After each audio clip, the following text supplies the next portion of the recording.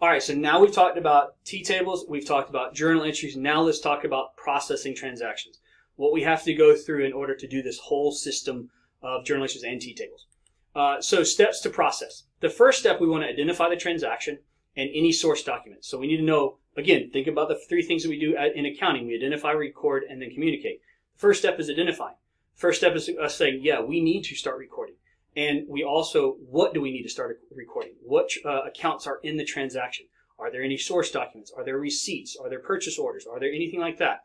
That's the first step. Is I got to get all that together. The second one, I analyze the transaction using the accounting equation. What goes up? What goes down? Are assets affected? Are uh, equity affected? Are liabilities affected? Are revenues? All that kind of stuff. I got to go figure out what's being affected and how is it being affected. Is it going up or is it going down? Third one, I record the transaction in a journal entry form applying double entry accounting, much like we just did in the last video. I put it into a journal entry form. Now, granted, I went from T tables to journal entry. Most of the time you do journal entry to T table, but you can work both ways on that one. Okay. And then finally, the fourth one is I post the entry. I put it into the uh, T tables. Okay. That is the four step process of journalizing transactions. Uh, you follow those transactions, you're going to get every one of them. You're going to get them right away. It's just a matter of the analyzing side of it.